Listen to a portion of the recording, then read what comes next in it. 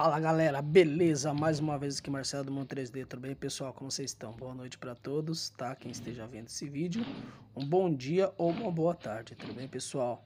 Vocês viram aí como que o vídeo começou, né pessoal? O rapaz já começando a fazer o próprio molde de gesso 3D, pessoal, tá? Mas como assim o molde, pessoal? Marcelo, como o molde? Explica para nós. Pessoal, tem muitas pessoas e muitos processos que hoje em dia a gente leva, tá? Tem pessoas que levam para um lado mais perfeccionista no caso, que seria o quê? Fazer todo desde o início.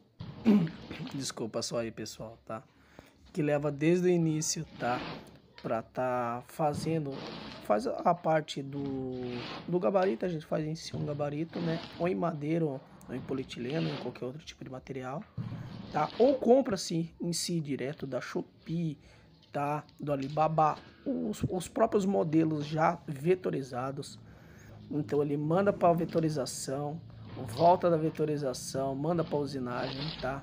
Da usinagem vem para nós, a gente pega, tá? É, faz o gabarito em volta dele, faz com a borracha líquida ou qualquer outro tipo de material que a gente consiga tá tirando, para depois a gente conseguir lançar o mesmo modelo, tá? Para sair para a linha de produção para vir. Nesse caso, pessoal, o que, que foi que ele fez? Ele burlou todas, todas essas etapas. Ele fez o que? Um próprio carrinho, pessoal, tá? Isso que ele está utilizando na mão aí é um carrinho como se fosse um carrinho de moldura, tá? Como se fosse um carrinho de moldura. Ele mesmo criou o próprio modelo de gesso 3D dele. Então ele criou o próprio carrinho quando você se puxa do lado esquerdo para o lado direito, como ele está fazendo aí, tá? Você vê que ele foi tomando forma e tomou uma forma linda. Eu, pelo menos aqui no Brasil, a gente nunca viu um modelo desse, tá? E acho que é um modelo mesmo que ele mesmo criou, acho que ele baseado naquilo que ele quis, em si, no modelo que ele queria.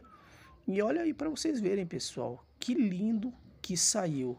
Olha que placa 3D mais linda para vocês terem uma ideia. Ficou muito top, pessoal. Não tem que falar. O cara é um gênio, um gênio mesmo. Olha que lindo, lindo mesmo que saiu. Agora imagine uma parede inteira com esse modelo, pessoal. Ficaria muito, mas muito lindo mesmo. E parabéns para o criador, né, pessoal? Que isso a gente não pode tirar, né?